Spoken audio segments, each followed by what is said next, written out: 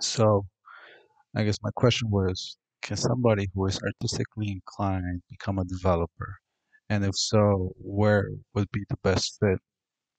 And after learning about development, um, and I actually went to a boot camp too, so I learned a lot there.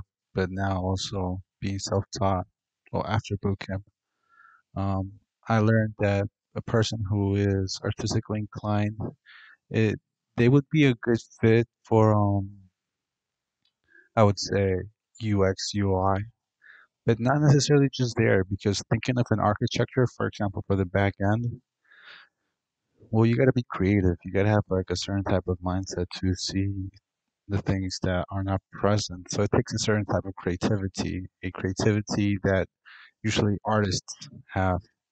And as an artist, I think you already know what I'm talking about. Just that ability to just visualize things and feel them and put your putting yourselves in the shoes of somebody else, somebody who's going to be using the site, looking at it, understanding the the just how another person would think at the moment of using your your site, your application.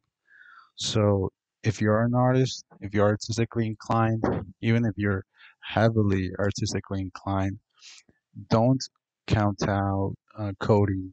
Uh, you don't even have to code uh, the front end. You can design it to uh, UI, UX, but coding is also going to help you a little bit.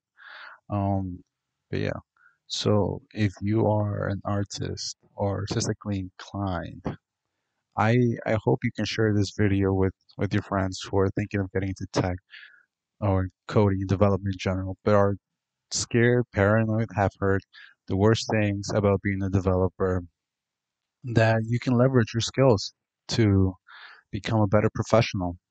So if you or any of your friends need to hear it, um, being artistically inclined is the, a great asset to be a developer. So I say go for it. Become a developer, yet keep your artistic side open and always, always, always practicing, always doing your craft, and you'll be the best professional that you can be.